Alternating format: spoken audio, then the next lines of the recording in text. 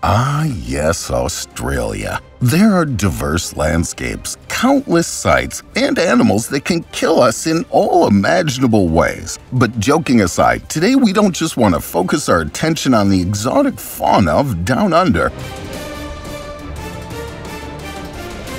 But instead, we want to take a close look at some amazing discoveries that show us which crazy secrets really lie dormant on the other side of the world. It's up to you to decide if you still want to travel to Australia after watching this video.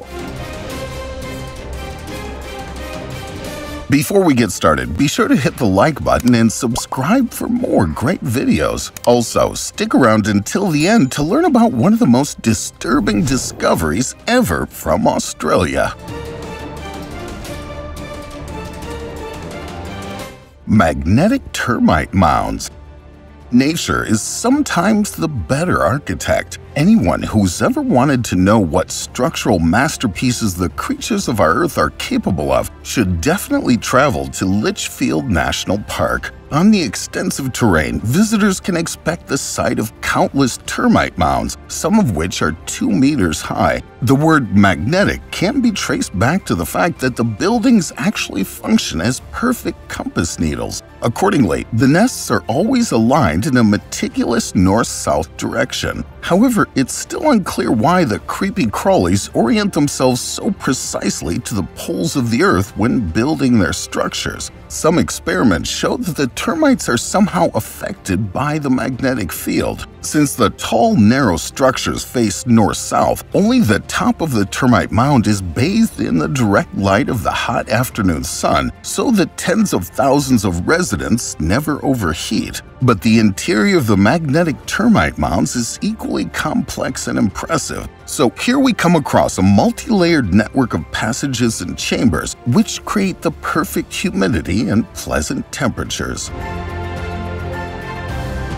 Oldest axe in history a small find with huge significance. Some time ago, researchers in northwestern Australia came across a tiny object that embodies the earliest known axe fragment ever. The age of the fingernail-sized splinter of basalt could be dated to an amazing 44 to 49,000 years. However, we mustn't confuse this discovery with the much older hand axes that have already been discovered in Europe and Africa. After all, these were completely different tools. According to the experts, the discovered fragment indicates the adaptation of the first Australians to their new environment. As a result, the Aborigines may not have developed their axes until they arrived down under. Despite this, the objects were not particularly widespread at the time. Thus, the axes were made only in the tropical north, suggesting that their manufacture was abandoned as humans spread into the desert and subtropical forests. Kaakutja. It's 2014 when a skeleton was found near riverbank in New South Wales. It quickly became clear that these were the mortal remains of an Aborigine who passed away around 800 years ago. However, Kaakutja, as the man was nicknamed, did not die naturally. In all likelihood, the Aborigine succumbed to serious injuries sustained with a boomerang. The numerous furrows and broken pieces of bone leave no doubt that Kaakutja was targeted by enemies. The skull is adorned with a notch about 15 centimeters long, which seems too long to come from traditional throwing clubs and axes. The researchers also discovered similarly serious injuries on the lower jaw. Which of these ultimately led to the death of the Aborigine is unclear.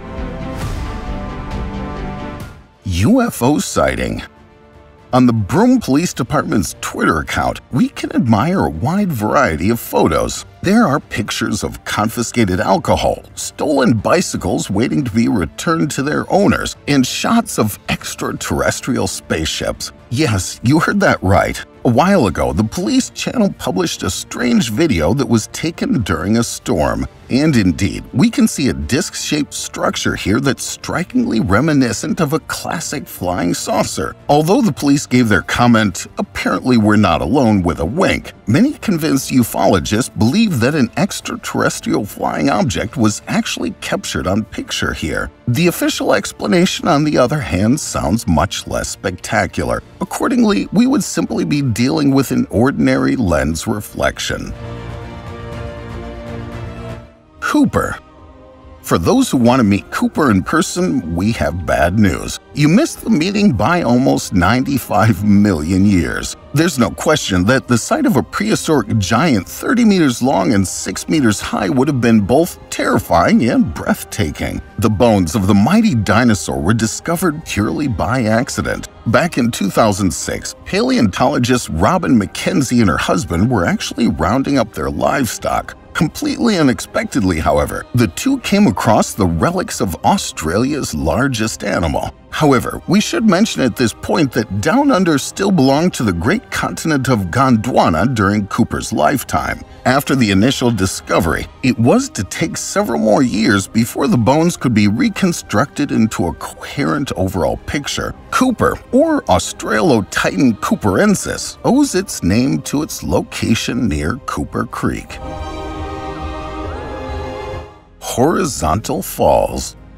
The horizon falls, or in other words, the waterfalls that aren't. Contrary to the official name, we're not dealing with ordinary waterfalls in this roaring natural spectacle, but with so-called equalizing currents. Located in Talbot Bay in the Kimberley region, the horizontal fall's flow direction is subject to the appropriate tidal phase. When the tide changes, huge masses of water force their way through the small, approximately 20 meter wide straits at breakneck speed. Since the horizontal falls can easily be navigated by ships, they attract not only naturalists but also countless tourists.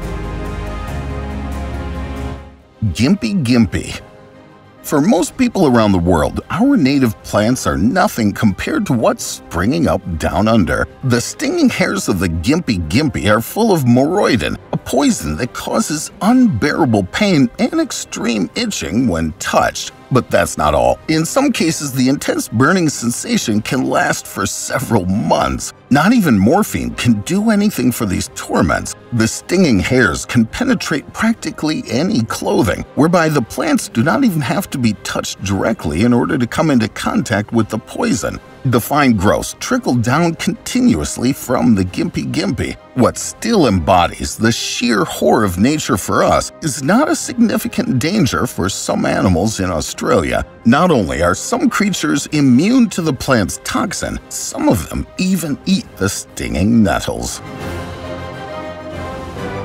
The Marree Man when bush pilot Trec Smith flew over the Woomera prohibited area in 1998, his gaze caught something almost unbelievable. A gigantic figure about 1.7 miles tall had taken up residence near Lake Eyre. Since nobody knows to this day who made the colossal Earth drawing, the so-called Marree Man is still accompanied by the wildest theories. However, researchers generally assume that this is a modern geoglyph that was immortalized in the ground with the help of a tractor. So far, the Marree Man is the largest known Earth drawing in history. Its precision execution suggests that GPS was used to make it. But who took the trouble to create the gigantic work of art? In addition to artists, construction workers, and even soldiers are discussed as possible authors. However, most believe that the character is the work of Bardius Goldberg. The Australian, who died in 2002, had already made a number of smaller images of the Earth. In addition, the artist received a very large sum of money at the time. However, he kept a cloak of silence about the background to the payment. What is still an exciting story for us is viewed much more critically by the Aborigines. Accordingly, the Marree Man was created in the tribal area of the Dieri, who feel that the drawing is a damage to their country. Firefly Tunnel in the early 20th century, a 400-meter-long railway tunnel was built near the town of Newnes to accommodate the thriving mining industry. Nowadays, however, we no longer find any workers there. Instead, completely different inhabitants have spread here. Thousands of fireflies, which transform the tunnel walls into a sparkling starry tent. Those who went through the tunnel themselves were absolutely overwhelmed by the bluish, shimmering sea of lights. However, since the little animals are very sensitive to external influences, visitors are instructed to switch off their flashlights and quietly enjoy the unique impressions. Cone snails don't let the fascinating appearance of the cone snails dazzle you. Although the shells of the tropical sea creature shine in a wide variety of colors and patterns, we're by no means dealing with harmless reptiles. In fact, the approximately thousand subspecies of the cone snail are extremely poisonous. The so-called conotoxins can also be very dangerous for us humans, sometimes even deadly. There's a good reason why the neurotoxin is so effective. If the cone snail wants to kill a fish, fish, it has to be dead on the spot. After all, the slow animals are not able to pursue their much faster prey. However, because the extremely venomous specimens are not native to shallow waters, only divers are at risk of encountering these cone snails. Unfortunately, there's currently no antidote that could declare war on the colorful mix of poisonous cocktails. Accordingly, victims can only be treated symptomatically.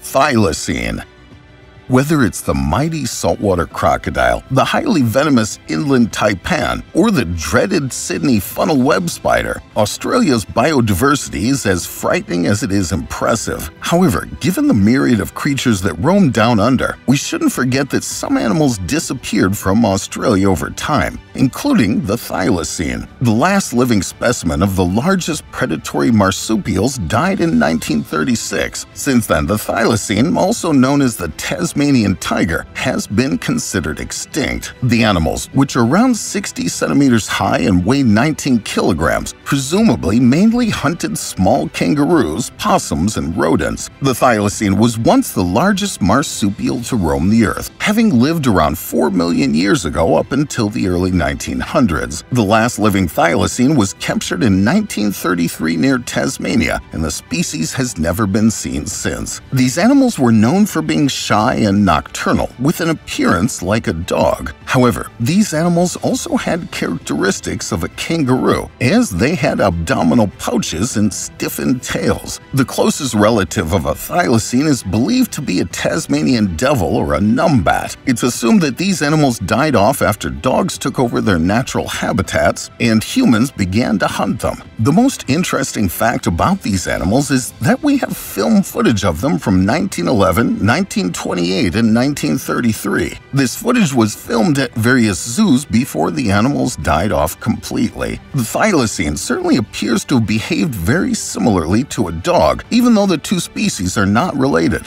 Resurrecting the species has been posed by many scientists, considering that the Tasmanian devil is so genetically similar. However, no successful efforts have been made. Until the beginning of the 19th century, the thylacine was still widespread in Tasmania. However, after sheep were introduced to Australia, the predators soon gained a reputation as bloodthirsty beasts. Wrongly so. Modern 3D simulations show that the thylacine's jaws were actually much too weak to tear down sheep sheep. The animals that died back then were probably due to feral dogs. However, since people knew nothing of these backgrounds, the thylacine was systematically hunted down and eventually exterminated. Attempts to save the species in zoos were unsuccessful. In all that time, there was only one litter in captivity. Nevertheless, isolated sightings of the thylacine are still reported today. However, these cannot be proven unequivocally. In March 2017, two separate sightings in northern Queensland made headlines, and who knows, maybe some of these fascinating animals actually managed to defy the merciless hunt of humans.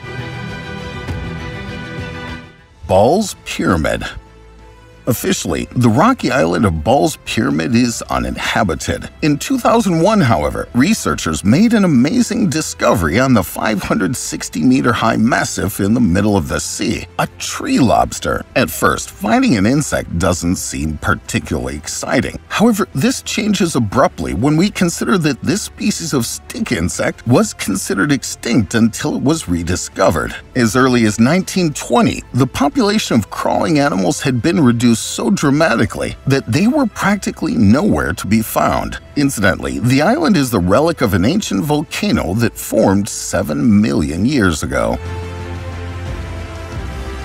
Ryugu A few years ago, the Japanese space agency JAXA carried out a very challenging project. As part of the Hayabusa 2 mission, an unmanned space probe was sent to the asteroid Ryugu. After the cosmic missile had been examined and photographed in detail, the unmanned spacecraft took some soil samples from the astronomical small body, which were then to be brought to Earth. The corresponding capsule finally landed at the Airspace Test Site in southern Australia. By examining the 4.6 billion year old material, scientists hope to glean important insights into the early days of the solar system and the origins of life. And indeed, over 10 different types of amino acids have been detected in the galactic rock. Okay, folks, now we need your opinion. Which discovery would you like to marvel at up close? Or have you ever visited places like the Glowworm Tunnel or the Horizontal Falls yourself? Share your thoughts and experiences with us and the community. Please show us by subscribing and liking that you enjoyed our trip down under and that you don't want to come into contact with the Gimpy Gimpy. And with that, thanks for watching. Take care and see you next time.